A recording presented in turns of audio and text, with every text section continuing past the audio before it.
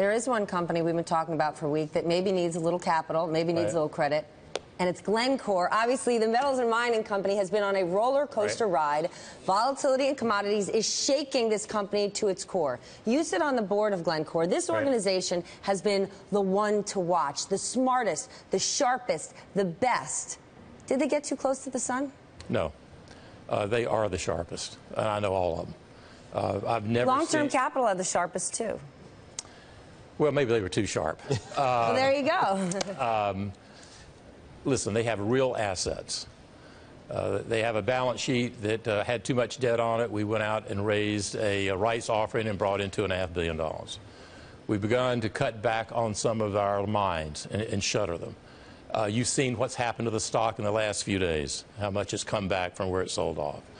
And then you have, you have fund managers who uh, short the stock, uh, play with the CDS. That's exactly what happened during the crisis. I mean, that's fine for them to do that. That creates a lot of volatility. but not real investing. Let me It's not real investing, no. It's, Let me let me offer a counterpoint here. I, I'm actually looking at uh, uh, uh, Bank of America Merrill Lynch from uh, uh, Alistair Ryan. We estimate the global financial system's gross exposure to Glencore at over 100 billion dollars, and believe a significant majority is unsecured. The recent widening in debt spreads indicates the exposure is now coming into investor focus. They hadn't paid attention now. Now they're paying attention. Is Right. that true? 100 billion dollars mostly unsecured. I don't know the exact number. The, the real point is, are they paying attention? And the answer is absolutely yes. Uh, what they've done in uh, cutting back on some of their mines and closing them.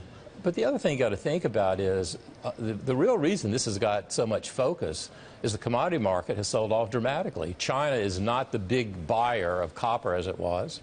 And the other thing is, and, and this is changing for the industry, not just for Glencore. It looks like to me when, when you own a mine, you feel like the number one thing you need to do is just produce. Yeah. Well, sometimes you got to cut that back, whether it's oil, copper, or, or whatever it may be.